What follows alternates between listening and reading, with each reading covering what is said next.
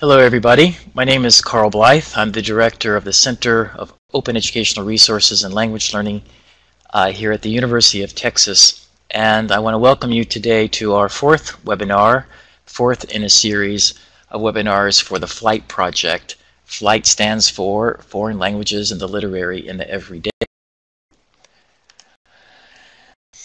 The title of this webinar is Publishing Open Lessons for the FLLITE project. So I want to talk about FLLITE, the, the, the specific project uh, that we're calling the, the literary foreign languages and the literary in the everyday, but also talk more generally about what it means to publish an open lesson. What does that mean to even call something open? So a quick overview of the presentation today, what I want to talk about. I'm going to start off by reviewing very quickly what I'm calling FLLITE basics, where this all came from, um, some of the basic principles that we see in FLLITE. Um, I don't have time to go over in, in any kind of detail the, the, the uh, original, the three uh, webinars, but I'm just going to quickly go summarize what I think are the basic principles. And then move on to the, the main issues, which are copyright, educational fair use, and CC licenses. Those are Creative Commons licenses, because it's really about copyright to understand open education, you need to understand what we mean by open licenses. And then uh, I'm going to talk a bit about how to find open content. Once you understand that content is licensed to be open, how do you find that open content? And then once you find all this different kind of content, how do you package it together in a lesson, in a FLLITE lesson, and license it so that other people have access to it and can use it as open content? And then in terms of FLLITE, our project, how do you submit it to us as a FLLITE lesson? And then we can give you feedback. How do you incorporate that feedback and then finally have it live on our server for other people to use? So all of those elements uh, will be part of the talk today. So let me start by saying um, uh, a little bit of a narrative here. Uh, the uh, this, as you see a screenshot, is the cover of an OER. An OER stands for Open Educational Resource. An OER can be any pedagogical material. So it, it can be something like a textbook, it can be a grammar book, it can be something as small as a lesson plan. So there are big and there are little OER. Um, and this is actually an OER that was started by Joanna Luks at Cornell University. Joanna was at that time coordinator of the lower division French program. And um, she had been using our, our French OER for first year French called Français Interactif. And um, she called me up one day, a couple of weeks into the semester, and said, I, I really like Français Interactif but dot dot dot. And this is actually, I've had this conversation with many other people who um, start to get involved in open education because that's usually what happens. You, you adopt a textbook, you adopt some kind of uh, materials, and you start to see their limitations, the limitations of the materials once you begin teaching with them. And that's exactly what happened to Joanna. She said, I liked, in general, Français Interactif, the materials I was using. Um, but and I asked her, please finish that finish that statement, finish that uh, um, your worry there. And she said, you know, I find that there are just not enough readings. Well, actually, there are plenty of readings, but they're not the kind of readings that I want. And as she started to explain to me the context of Cornell and what kinds of readings she was looking for, she said, you know, I, I want to help them do more textual analysis, not just literary analysis, analysis because we have lots of texts uh, in, in, in Français but they were mainly journalistic prose. And she said, yeah, I want different genres. I want them to play more. She had all of these ideas in her head. And I said, well, you know, the whole point of an OER, an open educational resource, is that it is open meaning it has it gives you this affordance. You have the right to play with it, to extend it, to rework it. So since Français Interactif is an OER, go ahead. You have my permission. It's open. So she started developing these really terrific activities, and I was very impressed by her ability to, to find things on the internet, find these in interesting texts, put them together in a way that allowed her students to learn about language and culture and literacy all in a package. And um, so we started essentially uh, this project. Uh, she came up with the conceit, this notion of the literary in the everyday, which we'll be talking about in just a moment um, which was uh, uh, explicitly trying to find everyday genres to talk about a literariness or this special playful quality of language that we could extend the boundaries and play with rules and so forth. And so she um, ended up writing, um, I guess, an activity for every chapter. There are 13 chapters in French Interactive. And so this now it comes bundled as, an, as a standalone OER. This is a great example of what an OER is all about. Uh, it starts with an idea, but the idea is prompted by somebody else's idea, and now you can access this, this OER, Le Littéraire dans le Quotidien. We've given you the URL right below it. You can click and buy it, or you can download it for free. It now becomes part of this Creative Commons, which is a very important thing that we all share and that we all contribute to. So the point being that Joanna's work Joanna's, um, I guess, really intellectual generosity can hopefully fire the imagination of many other people who take part and participate along with her and along with all of us in what we are now calling the FLLITE Project. These are the key points of how I see FLLITE. FLLITE is the acronym that uh, stands for the for foreign languages and the literary in the everyday. Um, by literary, what we mean then is essentially language play. That is, uh, it's it's not quintessentially or traditionally literature. We're not talking only about canonical literature, because you can find the literary, a literary kind of feel to all kinds of ordinary texts.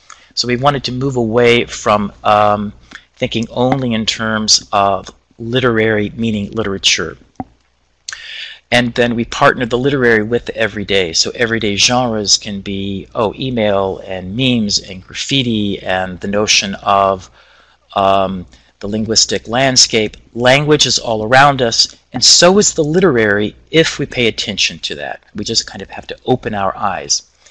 Now, um, Joanna from day one explicitly said she wanted to overcome this language literature divide, the lang the lang lit divide um, that was one of her goals for her own lower division program.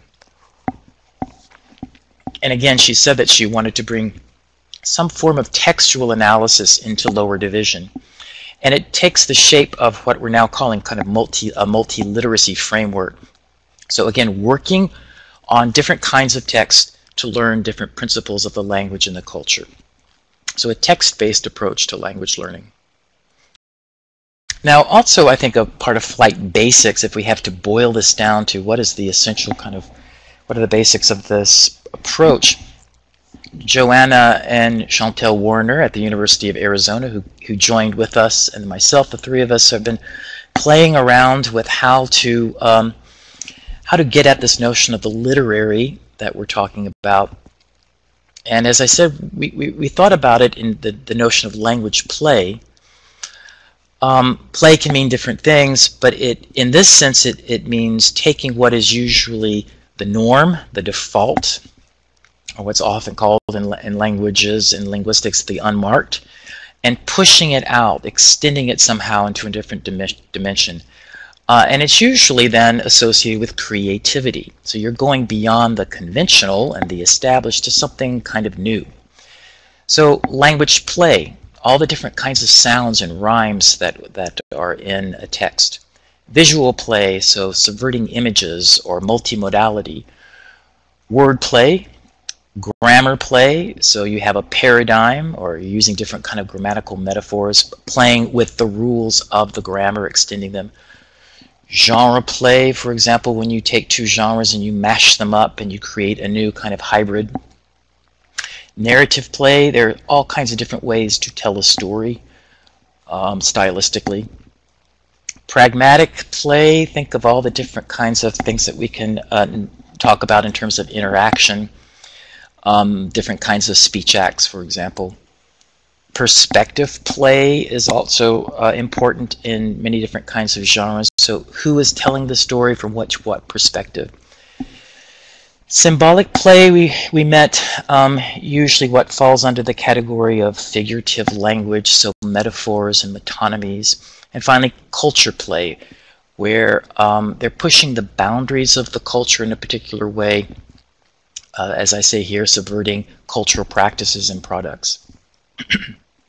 now, a, a, a, text may not exhibit all forms of those different kinds of plays. It may have one or two, or you may choose as a teacher to use a text in a classroom to emphasize just one of those kinds of, of play.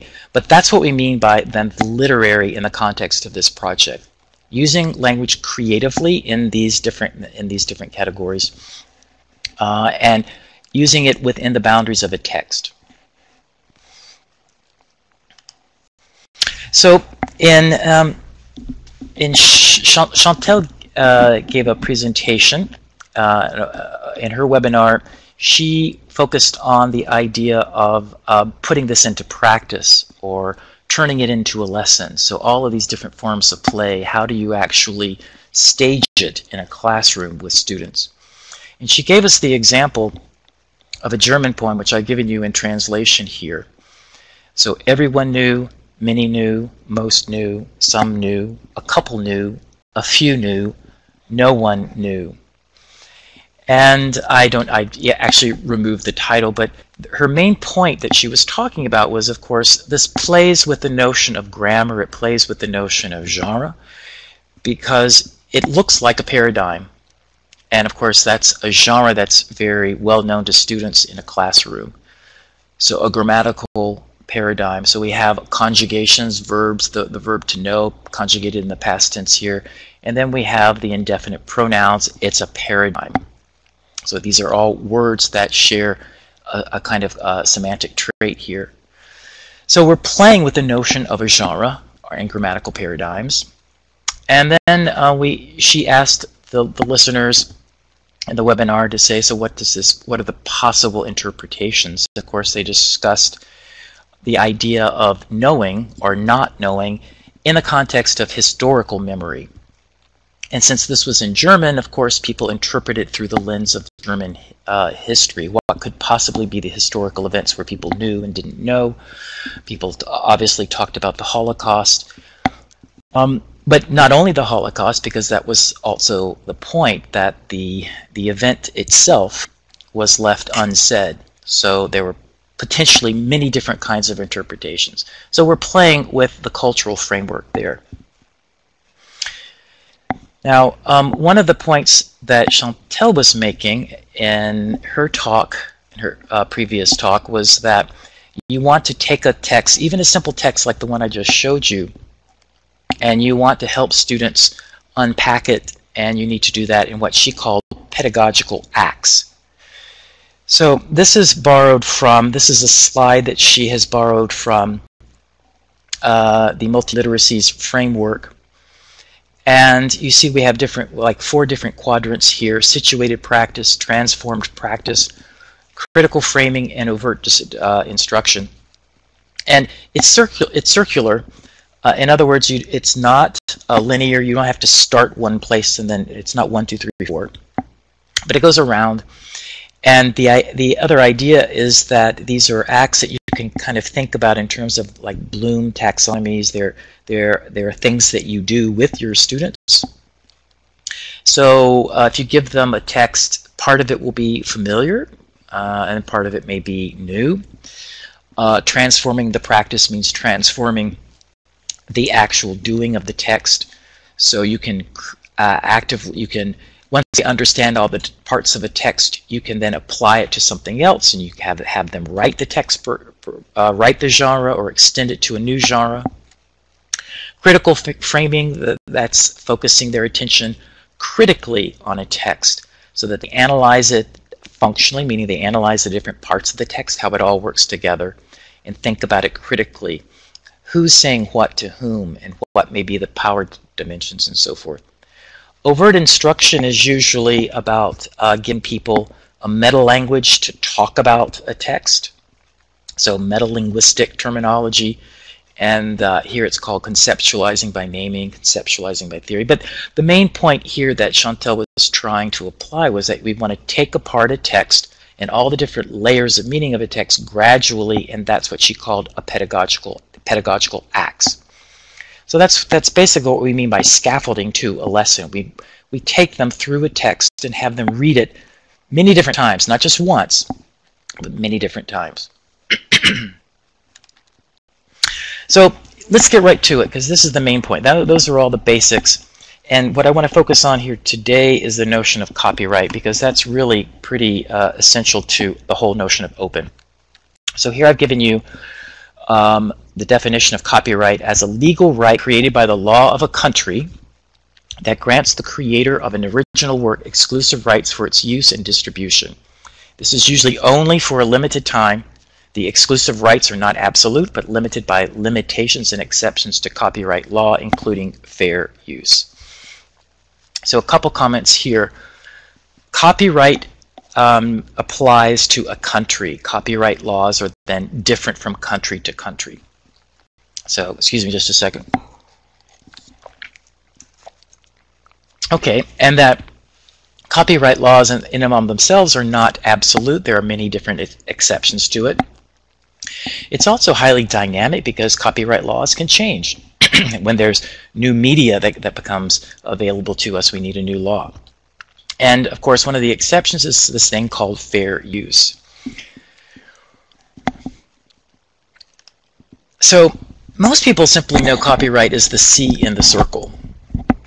And of course, that's the logo that indicates that the text or the book or whatever, the content that you have, is copyrighted. And I like to draw people's attention to the three words that follow the circle because I think that really summarizes it well. All rights reserved. And uh, this tells you that copyright is actually, when you think about how it's conceptualized, it's actually plural. It's a plural construct in that it implies multiple rights. And all of those rights then are reserved by the author and the publisher. The author and the publisher, it's like taking all their marbles and saying they all belong to me. Okay? so the what we're trying to do is shift this notion of all rights belonging to the author and the publisher and basically we're going to talk about sharing those rights. But what are those plural rights? Well, you have the right to copy the, the original work. And this is the right that teachers break all the time. People violate copyright every day. So we see a magazine and we think, oh, that's that would be that would be a great advertisement. I want to use it in my classroom. And so we make a copy of it and we take it into the classroom. We, we violate a copy, copyright law. And typically when a teacher makes a copy, it's not just one copy. They want to make just they want to distribute the copy to all the students. So they make they make, they they end up making 20 copies and passing them out. That's distribution. That's another right. Um, in addition, then the third right is the right to make derivatives if you wanted to go in and change the original work. So think about a song and you want it to go in and change the melody. Uh, and the last right, the right to sell the original work or the derivatives of the, the original for a profit. So imagine taking a Beatles song and changing a couple of um, notes there and then repackaging it and trying to sell it to that. No, no, no, that's a violation of copyright. But anyhow, the point is copyright is actually multiple rights bundled together. So most teachers say, well, that's right, I understand this copyright, but I am actually using it for educational fair use. So what does that mean? Well, this is a good definition taken from Stanford Copyright. There, there are many um, places to go on the internet, but this was a really nice uh, overview that, that I found. So in its most general sense, fair use is any copying of copyrighted material done for a limited and transformative purpose such as to comment upon, criticize, or parody a copyrighted work. Such uses can be done without permission from the copyright owner. So I put in red what I think the two the two most important points Um, it means limited, limited and transformative purpose. What does that mean? Because most of the time, let's say if you were um, you wanted to use a um, a song in some of your materials that you were developing. Most of the time, uh, in a language classroom, for example, the original well, the original purpose of a song is to entertain. It's for enjoyment. Uh, and here it is truly a transformative purpose in that what you're trying to do is educate people using this particular song. And in the case of a language teacher, it's usually something of, about the language, the vocabulary, the grammar, perhaps the culture. So that would const most of, of how we use media uh, does fall under fair use because our purposes are in that sense transformative. We transform the original intent. We, in, we in, uh, intend to educate people with the different media that we're using. But the real problem is then limited, this notion of limited, because when we play a song, we want to play the song in its entirety. It's not usually a verse or, or a line from a song. And most of the, of the copyright law and fair use law says you're only allowed to use a small portion of an original. And that's really where people end up violating the notion of, of fair use. And people will say, well, and again, I must I, I, should have prefaced this by saying that I'm not a lawyer, but I've talked to lots of, of lawyers here at the University of Texas about copyright law, and in discussions of educational fair use, uh, it really is a discussion about how to avoid risk or how to assess risk. And so it's true that you can put um, uh, something that's copyrighted, uh, like a music video or um, some kind of video or a text, you can put it behind an LMS, which then is password protected, right? That's really, that still is a violation if you're using usually a work in, in entirety, in its entirety. Um, but you lower your risk because the chance of somebody finding out is, is going to be very slim. So let me ask you, are you keeping it legal?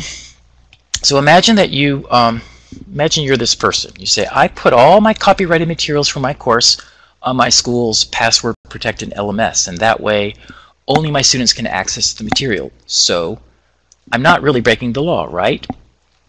Wrong, you are still breaking the law. So as I said, because you're using the work usually in its entirety, that's where you get into trouble. You're, you're, you're using it in a transformative way. So a simple way to make sure that you're keeping things legal if you're going to use the full copyrighted piece of content is to simply link.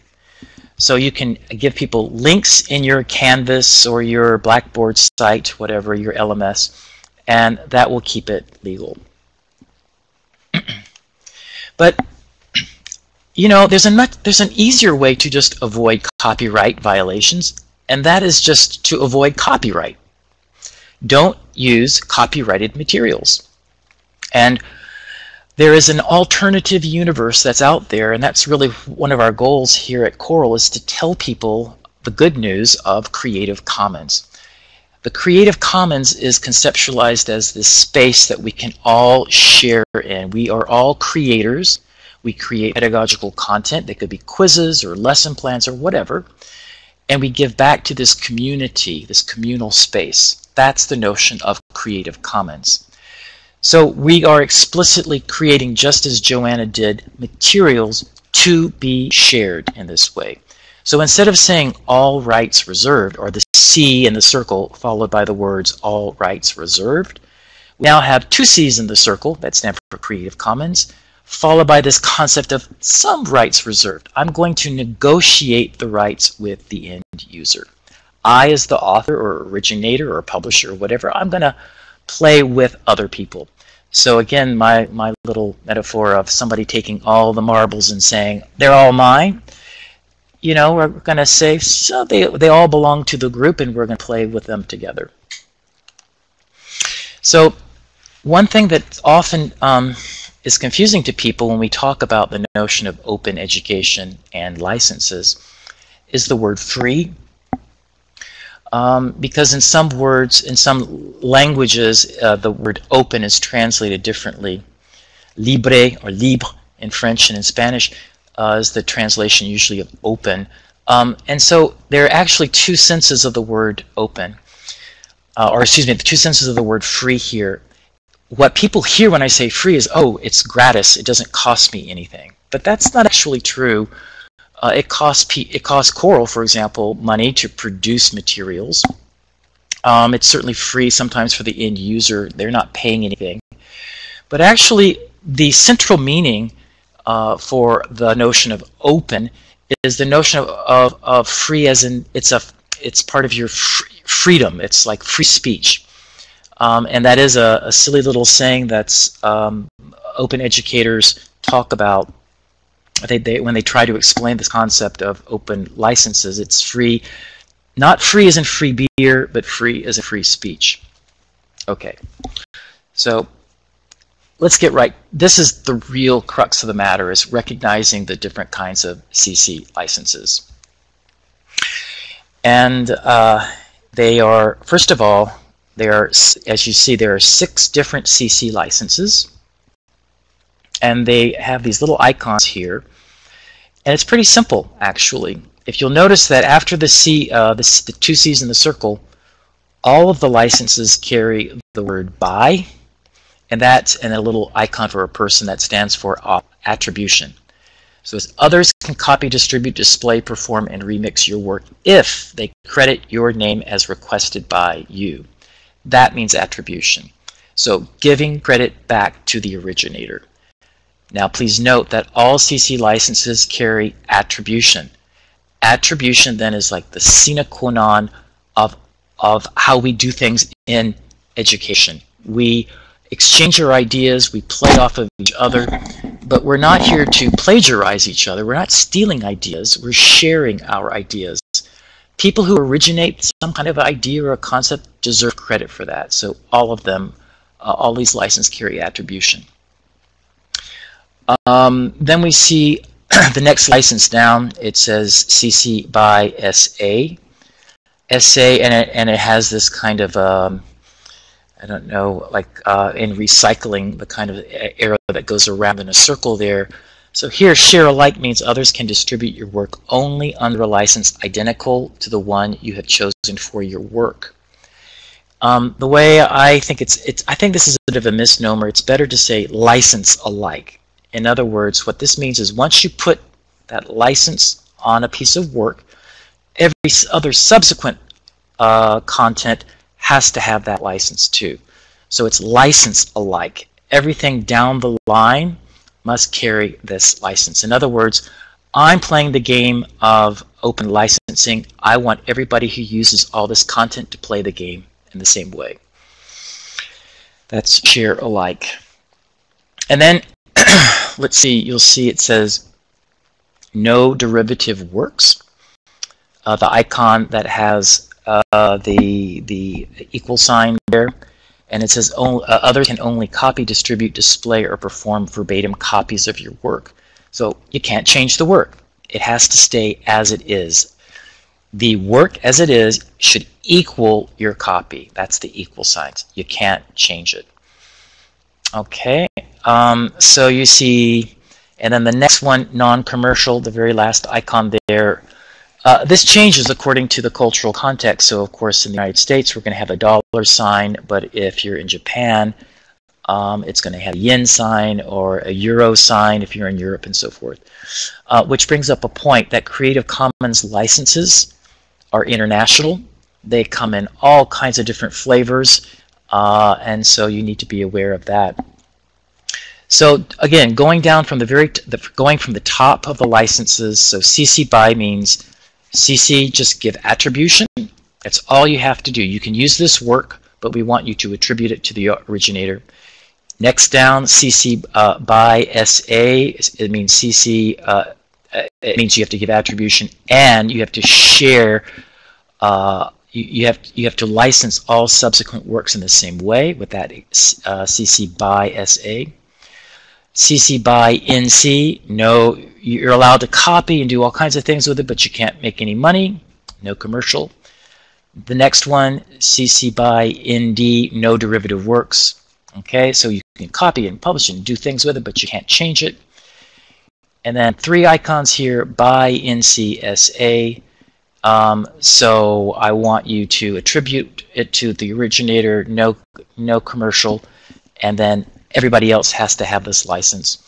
And then finally, CC by NC ND, no commercial, no derivatives. Okay. So another way of thinking about this is how open, from completely open to not not as open as you know. Um, not uh, you can see copyright. The C in the circle is completely restricted, all rights reserved, to completely open.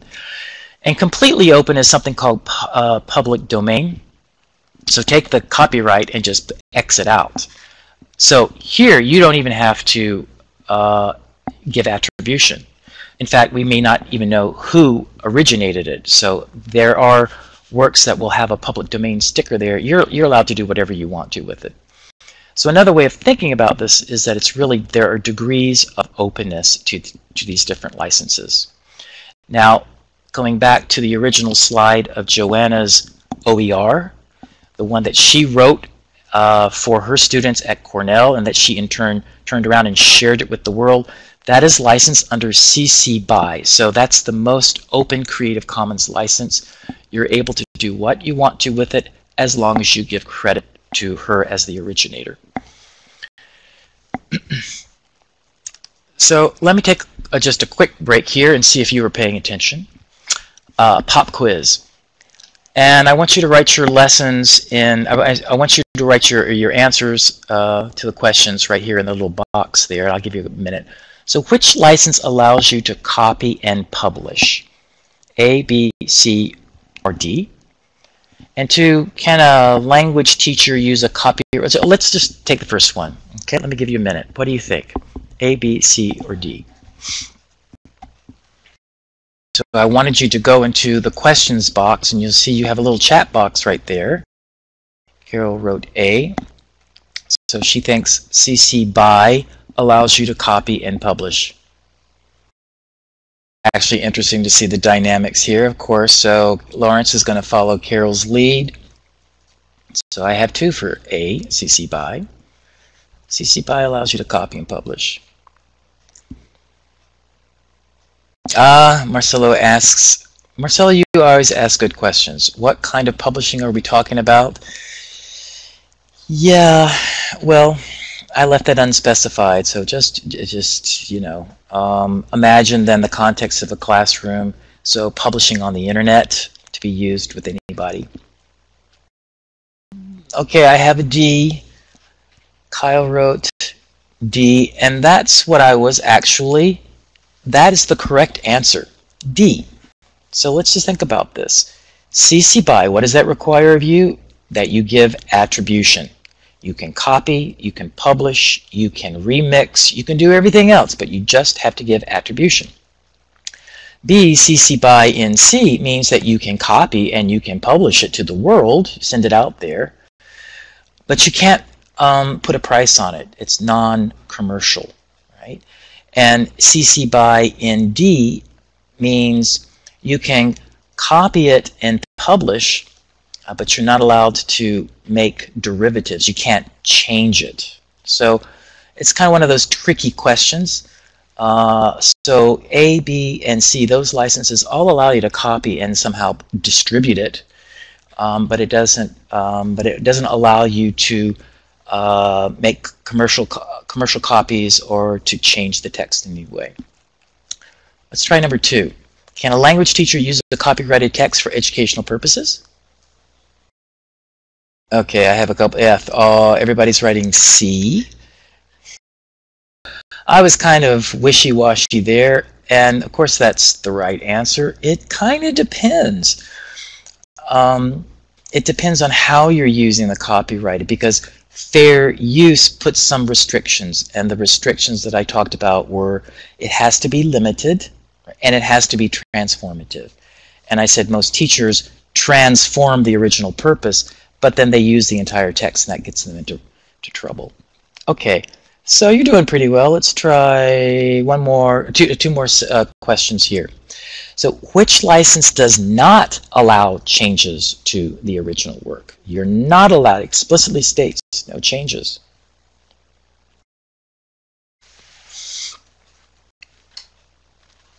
Okay, well I see a trend developing. D is the right answer because it says ND, which means no derivatives.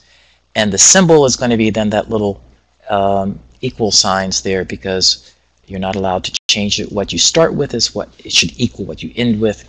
So no changes to the original work. And the last question here, number four, do all CC licenses require attribution? Yeah, it's like I can, I'm looking in this chat box here, so people go A, bald on record, absolutely, and some people say, well, yeah, A, but I'm not quite sure. Um, the answer is A. All licenses, every single CC license comes with attribution. As I said, it was, it's kind of the sine qua non. You cannot have a CC license without attribution. Um, I might have confused you because there, there's something else called public domain that's really not part of the what we conceptualize as CC licenses. It's just that's stuff that exists on the internet uh, that has no originating author. But the, all six of those CC licenses start with attribution. So they all ask you to do that. Okay, so that was just to kind of, I think you've, you've got a sense of them. Uh, you, you can go to creativecommons.org .org and take a look. They have the licenses up there, and then they have it explained for you a little bit better than I'm going very quickly today. Um, so now that you kind of understand, ah, okay, that's what CC licenses are, how do you find the content? Because the content exists because it, it carries a CC license. Um, and so we want make, to make sure that people explicitly license their content so people know exactly what they can do with it. There's a lot of content out there that people intend to share, um, but it's not made explicit. So oftentimes you have to contact the author and say, hey, I found your great website. I'd like to use this, but uh, is this copyrighted? So there's this great thing called CC Search. It is uh, actually a page uh, that you can find on the um, Creative Commons website. And what you have here are all these different search engines that search different kinds of archives all over the internet repositories. Um, but it, they're all, all these search engines are optimized to search only CC license open content. In other words, if you go to Google and you type in, you do a word search, you're going to get millions of hits, and much of that, probably most of that, will be copyrighted material. So this is your one-stop shopping place to do uh, searching for open content or CC licensed content. And you can see you can enter then you can you can uh, filter it. I want something. I want content that I can use for commercial purposes or that I can modify, etc. So, for example, um, there are all kinds. There is. Uh, I got this off of Creative Commons 9 million websites using Creative Commons licenses, but these websites themselves are huge. So YouTube, for example, constitutes a website, and there are 2 million videos, now more than 2 million videos, that are open or CC licensed. Wikipedia, 34 million articles that you can use that are open. Flickr, 300 uh, million photos. PLOS stands for uh, Public Library of Science, 10,000 science articles.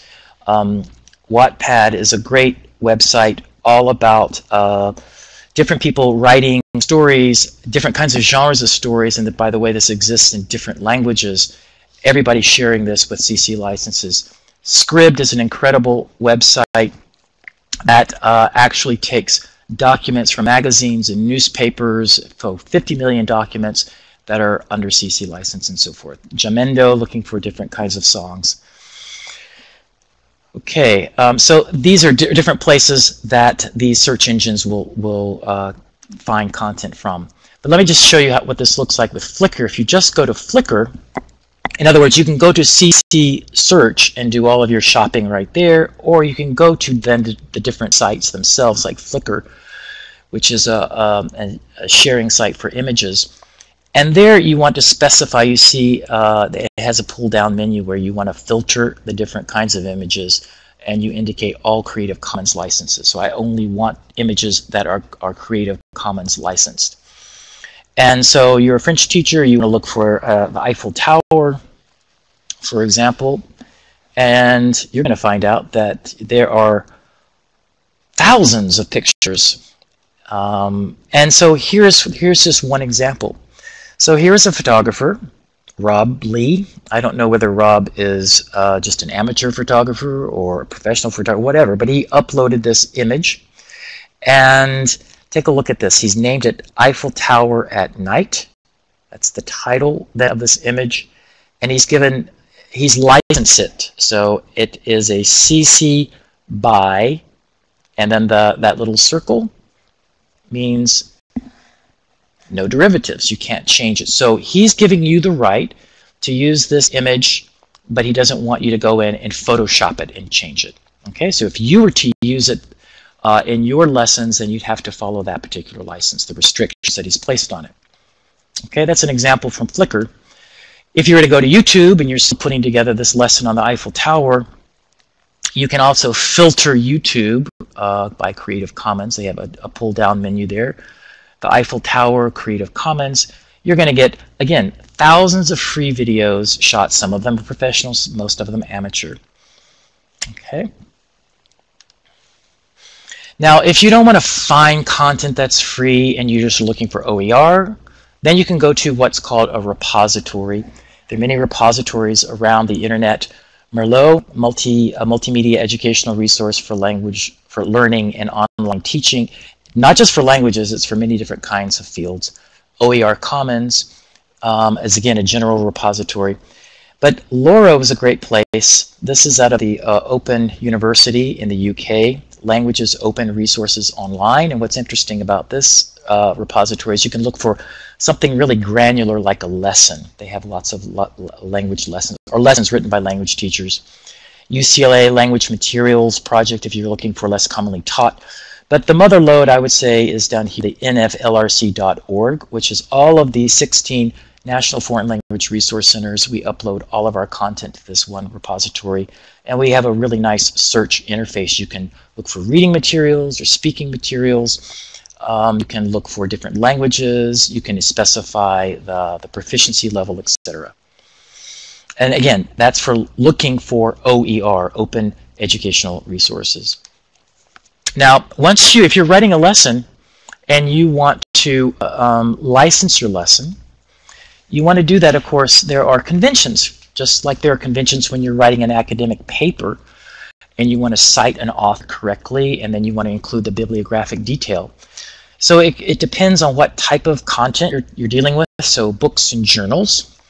Uh, the convention here is it says include the relevant uh, attribution information next to the CC work or as a footer along the bottom of the work on the page that the work appears on and alternatively, you can list the CC works in the back of the publication. In other words, if it's text, you probably will end up putting it at the bottom of the page, like you would uh, a footnote, or at the back of its, if it's several pages long, your lesson, and that acts as like a, a bibliography at the end.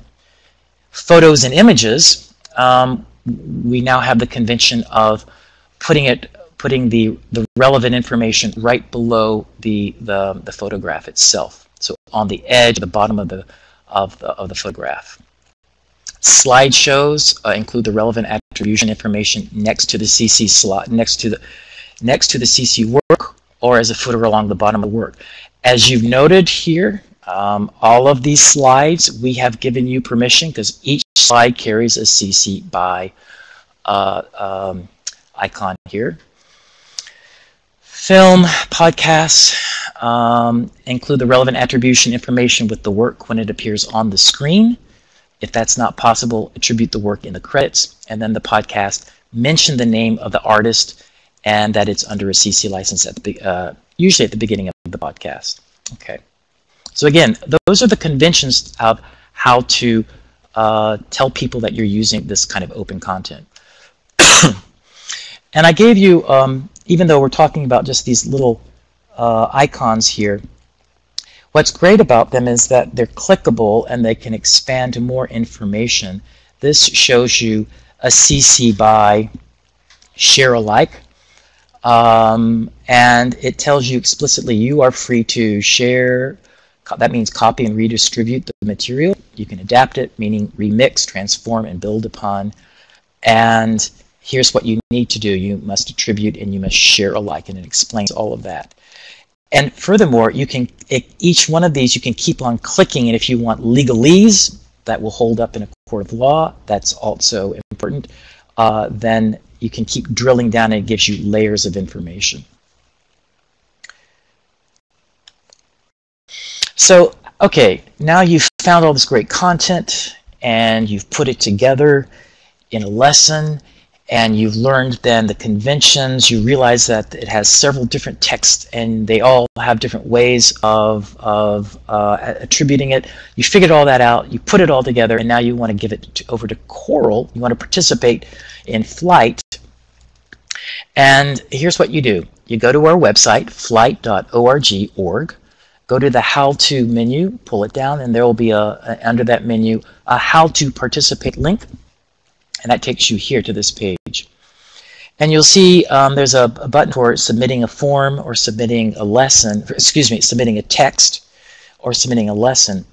The first place you should actually go is right here, the author template. You click on that, and it will give you kind of a draft. Um, this is a Google Doc, and it will prompt you the kind of information that we want you to fill out. So we want you to give your lesson a title, for example lesson title, an instructional language. Okay, the text is in Spanish, but what language are you going to be using in your instructions and so forth? So we want you to fill all that out and gather all that information.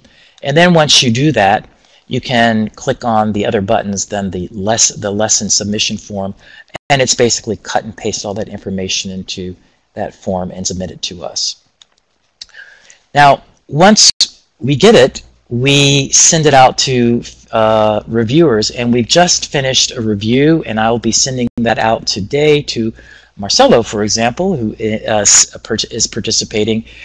And um, so we, we basically have editorial boards of expert reviewers, people who are applied linguists or language program directors, and they are um, well versed in how to put together these materials.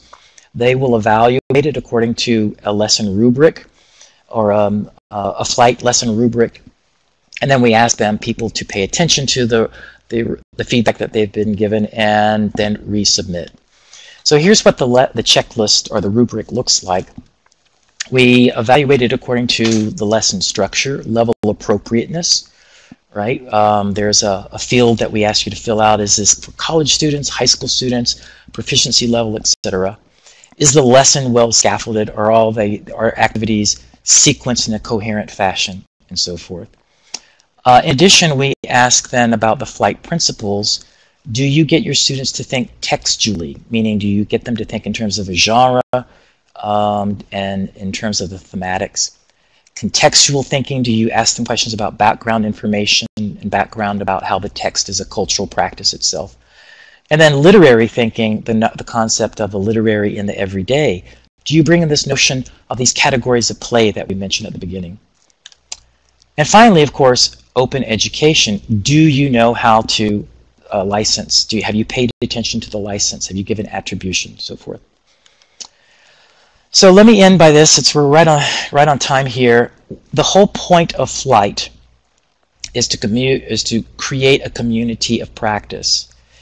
Now, Joanna and I, going back to the very beginning, we created a dialogue between two people but we really want to expand that dialogue to incorporate many more people instead of just having two language program directors talk to each other about these materials. We want to have lots of people, including graduate students and people from all over the country, help each other learn how to create these materials together. That's the real goal. We also are then trying to create this platform for publishing these goals because that's where we kind of add this, this value of a, a language resource center that we can have um, people who understand how to publish this, um, put it on the server and how to have others gain access to it. That's what we can add, the value that we can add to this endeavor of the community of practice.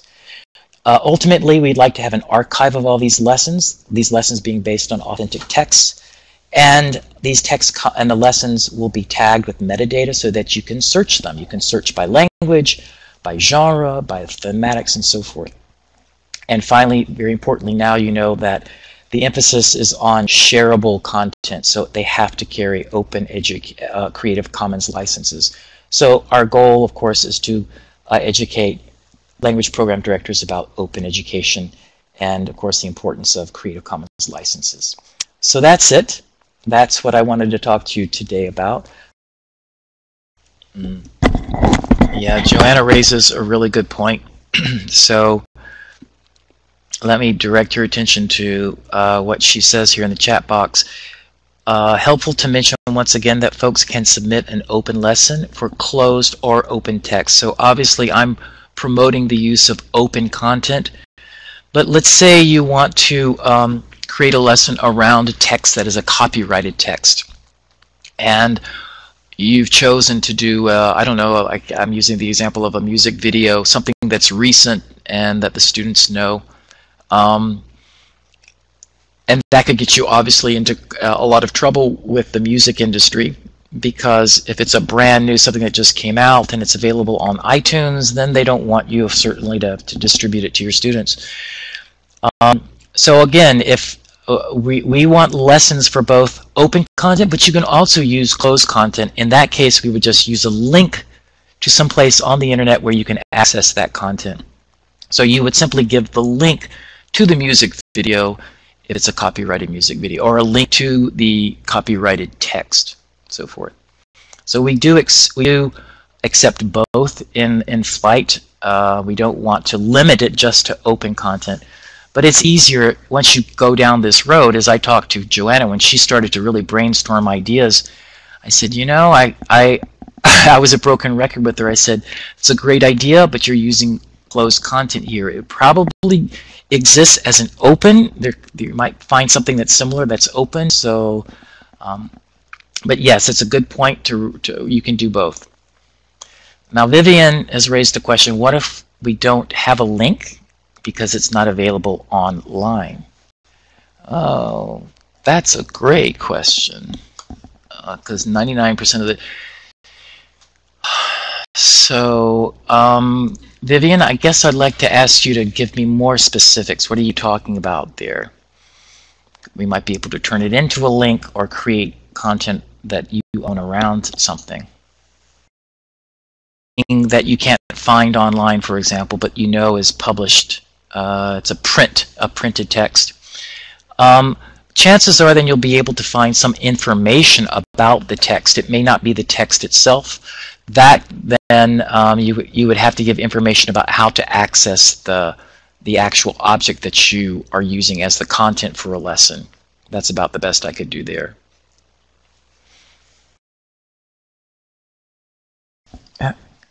So I see that we are right at 3 o'clock, right on the hour. Um, I will stay here for a couple more minutes to answer questions. Um, but I just, I really want to thank everybody for showing up.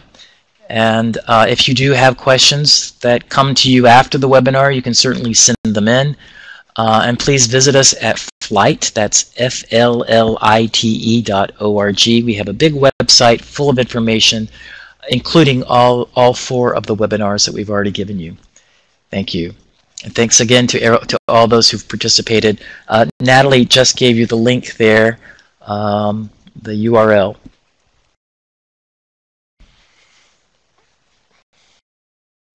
Yeah, and Joanna's raising another good point here. Is uh, yeah, um, that this is really about professional development, and um, not just for graduate students, but for all of us who are in the profession to learn more about oh, all the different tricks of the trade, how to access free information, open content, how to put it together in a lesson, um, what are the basic principles of a multiliteracy uh, approach to language.